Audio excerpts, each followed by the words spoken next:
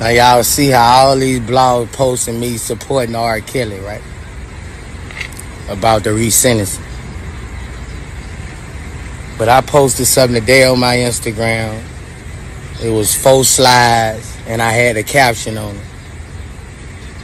And no blog don't want repost that. You see, it's so easy for them to control the narrative and try to make me look crazy. But I stand on business, man. Straight up. But I just want to let y'all know, ain't none of y'all vlogs. Y'all post me supporting Bill, not Bill Cosby. Free Bill, Bill already free. But R. Kelly. But y'all don't post what I post today about the slides and the caption. The truth hurts.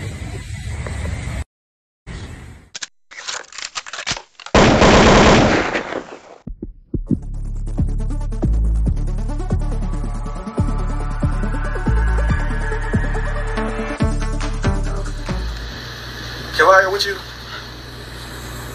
What? ACP, did you see this? Look, if it ain't official Dana J, Levi for Kelly, Prima Donna News, I don't even want to see it. Just take the phone. Look. Got some weed? Dang. Gotta get some. Alright, hurry up. Diesel and them here, everybody here, we waiting on you.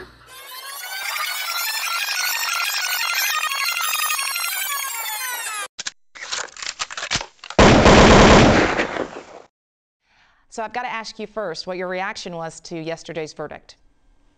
Well, I, I can't state enough how disappointed I was. You know, we were involved in the New York trial uh, for a long time, and in the months leading up to it, a couple of months beforehand, he made a decision to change his legal team. Uh, I was just saying this morning that it was sort of like uh, starting Justin Fields in his first NFL game this weekend for the Bears, which didn't really work out too well. Uh, he went with a very inexperienced crew, and I think they got slaughtered. That's unfortunate because I think that uh, he should have won that case. I don't think it was a racketeering enterprise.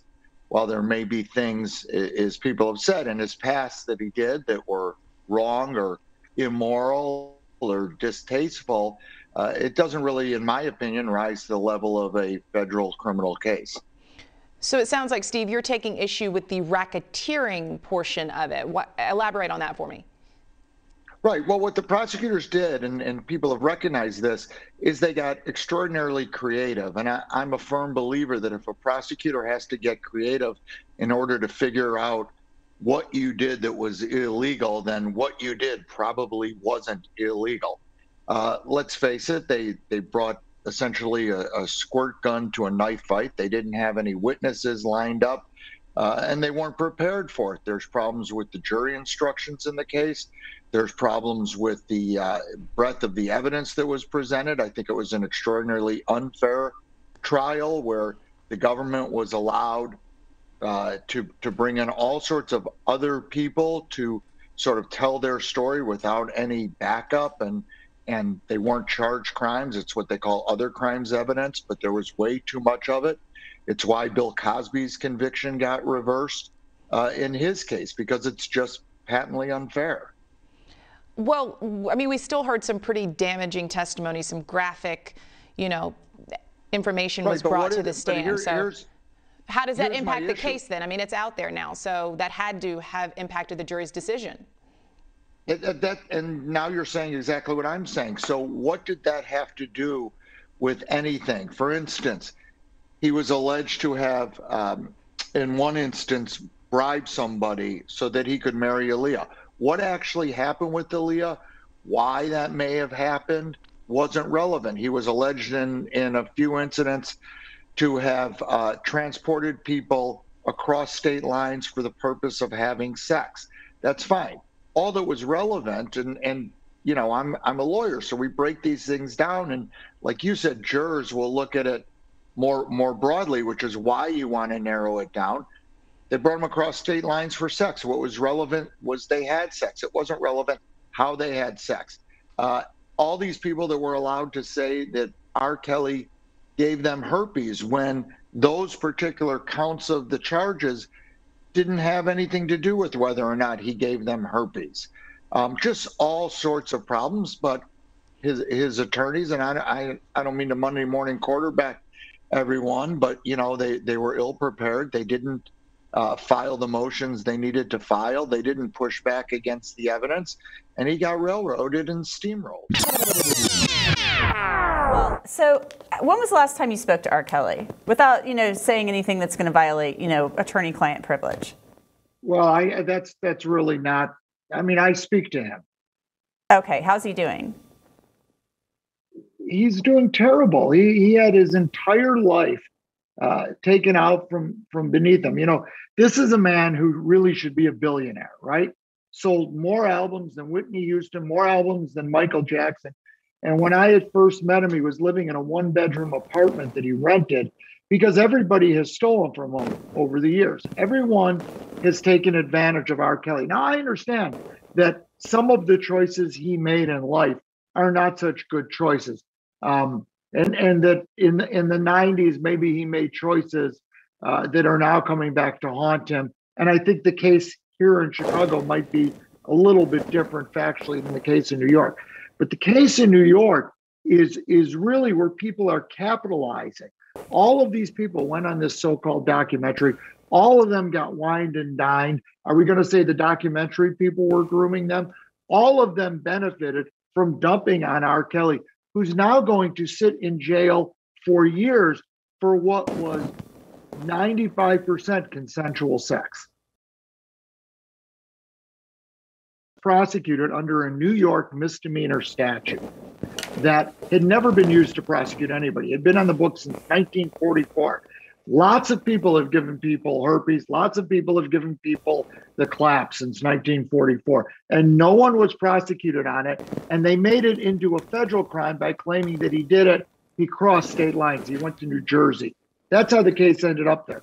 But let's look at some of the other people. His former girlfriend, Azriel, who was very honest in, in when she testified, I will say, and she said, My mother sent me to a concert and said, You make this man fall in love with you. You're going to have his babies. You're going to be his girl, so on and so forth. They preyed on him. They preyed on him. And, and for them to now come to court and say they are victims is just being intellectually dishonest. But, but so you're saying that R. Kelly's the victim here? Absolutely. The 55 year old multimillionaire is the victim? Well, he's not the multimillionaire. But yes, I believe he is a victim of people who wanted the situation, were in this situation. No one complained about anything. That's what people forget. No one complained until agents and prosecutors and TV producers went out and found these people.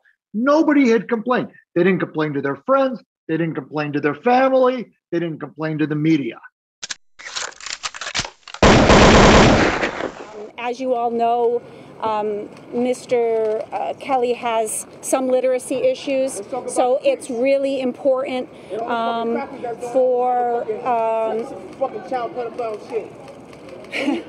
It's there's there's a great deal of things that have to be explained in a little a little more slowly. So. But in terms of the sentence, in terms of the sentence, how does he feel about the sentence? Well, I mean, obviously he's devastated. 30 years in prison is like a life sentence for him. But um, at the same time, um, you know, we knew the government was asking for 25 years. We, we were prepared for what um, the judge might impose. So it didn't come as a great big surprise.